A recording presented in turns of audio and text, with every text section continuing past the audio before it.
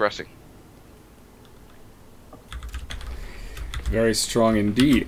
All right, here we go. It is game number two in the winners match of Group A of the second stage of the groups of the Dutch StarCraft League Open of 2014 in the bottom left corner of the map. It is the Dutchman, the Protoss, the part-time comedian. It is Harstem. And his opponent uh, from Germany, from Clan Cascade, has shown us an excellent game number one. Can he continue? Can he make a little bit of an upset in the Dutch StarCraft League? Put your hands together for HaNfy. Woo, woo! Man, HaNfy up 1-0. That is, uh, well, as far as upsets go of tonight, that is uh, an upset. I mean, like we've said before, I've I, I, I, just keep repeating it because I love it. Harstem qualified yesterday for the round of 16 of Premier League, of uh, the, the EU Premier League of, uh, of the WCS. That is the Blizzard uh, World Championships, basically. And uh, that is amazing because this guarantees Harstem a spot in Premier League for next season. And of course, also uh, means that he will be going to Köln, right? To Köln uh, Yep. to play um, to play because the round of 16 is played live for WCS. So that means that Harstem is actually going to go offline and uh, visit the event, and we'll be able to see his lovely face on the stream as he beats everybody that he meets. I'd love to see his parents in uh, in Germany cheering him on. I remember last year at the Dutch StarCraft League, his parents uh, being there and uh, shaking my hand, saying, "Thank you so much." I was like, th- "Thanks for what?" Well, we don't really get the game uh, that much, but uh, you explained it uh, uh, real well, and I was like, "Thank- "Thanks, guys." And I didn't know they were the parents of Harstem, but I found out later. I was like, "Oh, that's so that's so cute. They're so supportive, and uh, they were genuinely really nice." So Yeah. always cool to see that kind of support uh, to your children. And uh, Harstem just has a lot of support overall, even from the from the StarCraft community. Uh, Yeah, everybody loves this guy. He's a guy who came up through the ranks, right? I I believe it was with mouse mouse control at one point, right? Yep. It's, it's not surprising though, because this year is, of course, the year of Harstem. Uh, the, the very first year of Harstem. I should have uh, known. accurately.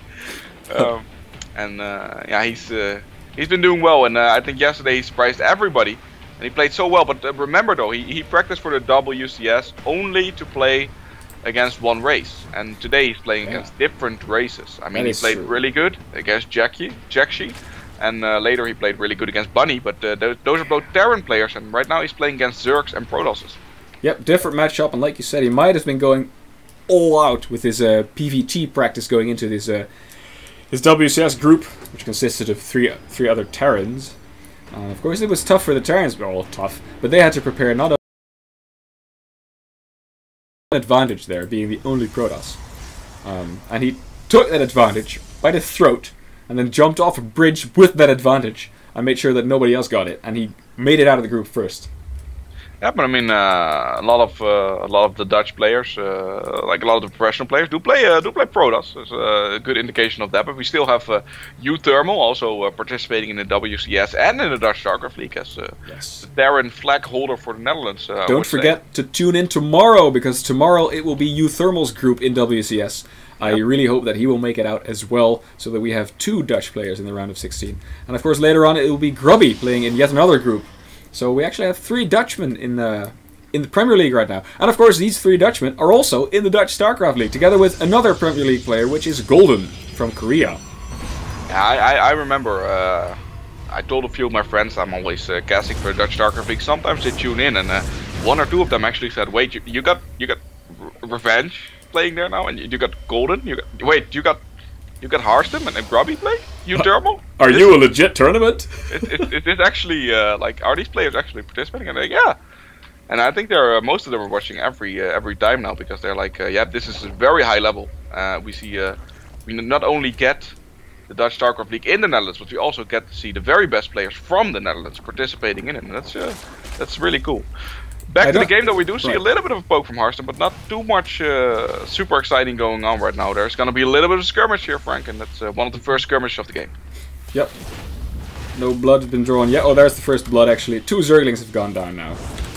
Yep, uh, I think one of the, the scouting Yeah. Zerglings was uh, was the first to go early on. He has to be a little bit careful here. He's uh, Yeah. taking a lot of damage on a mothership core, and he's being chased away by these Zerglings as well. You always want to put some pressure on just to force some units out from your uh, from your Zerg opponent. HaNfy actually uh, getting a little bit supply blocked here, which is uh, slightly uh, slightly sloppy. Getting a lair as well, so uh, looks like he wants to go into a longer game, but which Zerg doesn't, right? Which Zerg doesn't? Well, of course, Zerg is uh, is a race which has a very um, a characteristic, really early game tactic in the six pool. Uh, but apart from that, I'm not, are there are there really very uh, yeah? I'm probably forgetting a host of tactics now that you can do as a Zerg to end the game early, right? But um, would you say that Zerg is more of a late game race? I'm not sure, right? Well, there's this build. Um, I don't know if you heard about it, but it's called Six Pool. Uh huh. no, I mean uh, the Zerg has, uh, has options early on, but uh, against the Protoss player, I do think that they feel more comfortable uh, doing something else. But there's uh, there's a lot of things you can do. Uh, two base Muta, two base Roaches. It's not beyond reason, especially if your your Protoss opponent takes a, a, very greedy third. This is not one of those. This is around the eight minute mark. If you take a, a third around the six, seven minute mark, um, you can punish that with with Roaches and, and a lot of speedlings behind that. So there are definitely some some aggressions as a Zerg player. Temple is something you see a lot. Right, of course, you might wonder watching this stream, if you don't play StarCraft at the same level as these guys are doing right now, you say, well, if I go for a third base as Protoss at the 8 minute mark, I usually die. How is it that Harstem can get away with it? Well, that's because he scouted his opponent, of course, and saw that he also went three bases, and that he wasn't going to attack him real anytime soon. Uh, so it's it's all about knowing what your opponent is doing and reacting properly. And it's not picking one build and doing it every time. Because, yeah, you might win some of the time, um, but winning always, or winning more than 50% of the time, um, that's... You can only do that by scouting properly. Yep, I mean, uh, sometimes you'll see uh, see a player execute a build uh, accidentally. You're just gonna mimic it. Like you see a, a good two base push, and you'll uh, you'll mimic that build, and then you just get baneling busted, or you get a, you get temple or stuff like that, and you're like, wait, this works on stream, but doesn't work when I do it. No, but just uh, just scouting, uh, scouting as well as uh, some game sense that you need to to pull some builds off, and you you get there. You play a lot of StarCraft, you'll see a lot of things. You get used to a lot of positions, and we do see a little bit of push out here from Harstem with uh, with the army of sentries. Yeah, trying to deny this fourth base from HaNfy. I think he's gonna get it. Yeah. And There's what will he do then? Brazilian force fields. Yeah. Uh, he doesn't want to. He he does Ooh. not want to go into a Brazilian force field. actually use one force field to get the drone there. Do you think we're gonna see a recall? This is actually really good. He picks up three uh, sentries there. Wow. Yeah. That... Oh, really good with yeah. Yeah, we, we do see recall. He just to deny that base. He, he stayed his welcome just a little bit too much, and he uh, the Zealots caught him by surprise a little bit there. He didn't make a second line of force, but he lost more than he should have. Yeah. All right. So this is tough. Harstem now, I think forced to defend for a little bit. He still has more than enough sentries to defend and uh, keep his uh, chokes secure, even though they are quite large, as you can see. Yep, uh, definitely, and uh, it does look like uh, HaNfy is moving uh, on the map a little bit now. Uh, I don't think he's gonna make anything happen with the uh, with the small amount of units. He just wants to uh, to kill those rocks, to poke in a little bit, see what's going on, and uh, yep, chokes got just got bigger, yo. Yeah, but that's that's good. He's gotta have more area to move. He likes surrounding the army. We've seen that on multiple occasions. Uh, does note that the rocks are now down, and he does not see a huge army following that. There are some Zerglings. Uh, the Hydras are uh, are trailing, but uh, he doesn't want to commit. He's not committing right now, and uh, we do have that trademark uh, War Prism coming up from Harstem pretty soon, and uh, in, we've also got Colossus on the way. But on the other side of things, oh. an infestation pit. Do you think he's gonna go for the Vipers again, Frank? I'm not sure. And we we saw Photon Overcharge getting triggered uh, by Harstem right now. This third base. Usually uh, a good commitment right now, and uh, HaNfy taking out some Stalkers. There's no Blink. Blink is not finished yet. Blink is gonna finish pretty soon. This is a little bit of an anti-timing uh, for Harstem. Lost uh, tra well, traded his army a little bit, and the Zerg likes that. There's gonna be Blink now though, he has to start utilizing that, he's still losing a few stalkers. There you go, first Blink out, and uh, he needs to micro this properly. Ooh, sentries! As much. He's, he's, still losing a lot of units. HaNfy is getting a, a decent job done, but a good aggressive Blink gonna fill out a few of these units. Does lose one or two stalkers, but this is worth it I feel like, and the first Colossus is out.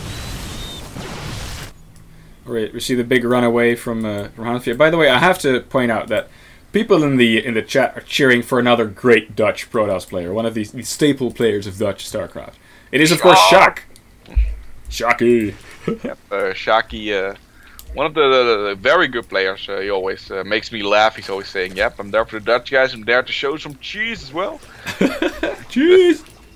a very young player. Uh, if yeah. I uh, or whatever have to uh, recommend someone for good manners, I would uh, I would definitely consider his name because he's yep. a very meta player. Mm -hmm. Very nice guy, just all around. And, uh, he's, he's been doing good. We're gonna show him later on, but not tonight though. Not tonight. Alright. There's some fancy structures here. This uh, this thing I'm looking at right now, this reminds me of uh, of this game that I played way back in the day. It's called uh, Alice Madness Returns, or it was just Alice. Uh, American McGee's Alice, that's what it was called. It's like a shooter on the, in the Quake engine, and all these you know, very eerie settings. And, you, and Alice was warped as well. She had a knife and she killed everything. I love that game. It was uh, it was supposed to be an Alice in Wonderland, but horror horror version, Yeah, right? I never I never played it, but I did see uh, I did read some uh, some reviews about it online uh, during that time. It's uh, it's a while back. It's during the PlayStation 2 era, I think it was. It, it, I played it on the PC though, but uh, it might be. Yeah, it was way back. Yeah, I always uh, I always have a PC for the for the strategy games, and I have a I used to have always a console for the uh, for the other game.